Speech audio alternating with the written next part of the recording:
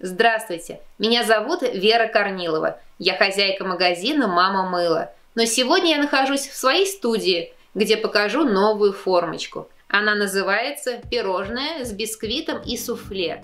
Казалось бы, просто цилиндр, но она позволяет очень многое. Я начну с одного варианта, а потом покажу целых семь. Давайте приступим. Нам понадобится мыльная основа. Основа нужна, конечно же, белая. Основу мы нагреваем и окрашиваем жидким пигментом молочный шоколад. Сбрызнем форму спиртом, чтобы не было пузырьков внутри и заливаем.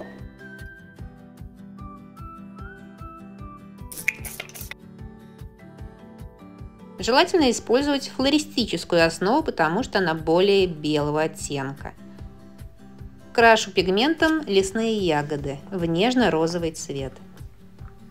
И когда первый слой подзастынет, заливаем следующий.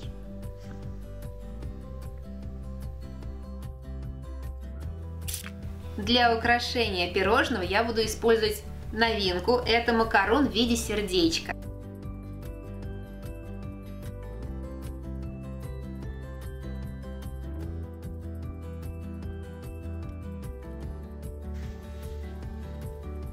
Остатки основы залейте в маленькие шарики и цилиндрики из-под формы лего. Там пупырышки как раз подходящего размера.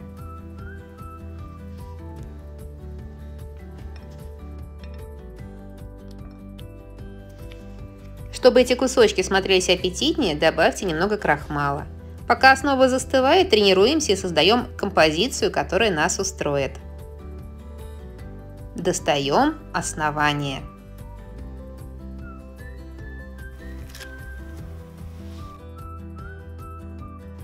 С помощью палочки или пипетки наносите небольшое количество горячей основы и на него приклеиваете маленькие кусочки мыла.